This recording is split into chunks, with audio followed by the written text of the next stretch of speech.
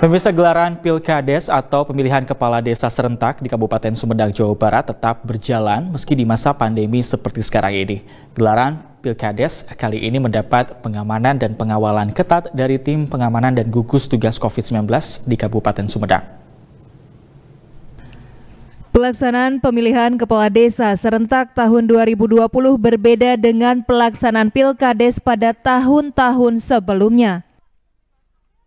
Berdasarkan pengamatan tim liputan Bandung TV, pelaksanaan pemilihan kepala desa di Dusun Cilangcang, Desa Lego Kidul, Kecamatan Paseh, Kabupaten Sumedang, Provinsi Jawa Barat, semua peserta dan penyelenggara pilkades serentak menerapkan protokol kesehatan secara ketat. Tujuannya yakni mencegah penyebaran COVID-19 dan lahirnya klaster pilkades.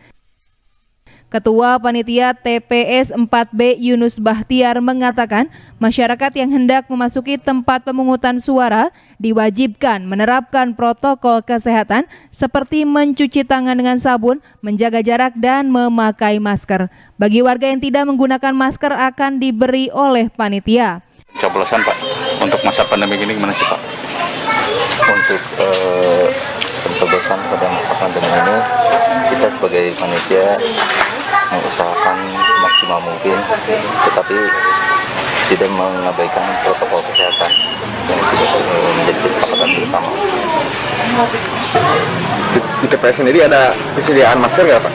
Di TPS kita menyedi menyediakan uh, masker cadangan, cuma dalam jumlah yang terbatas. Jadi pemilihan PKS sekarang ini perbedaannya jauh daripada yang pemilihan kemarin. Uh, karena sekarang kan menerapkan protokol kesehatan harus pakai masker jaga jarak uh, pokoknya masyarakat mendukung pemilihan pilkades tanpa ekses dan menerapkan protokol kesehatan yang dianjurkan oleh pemerintah.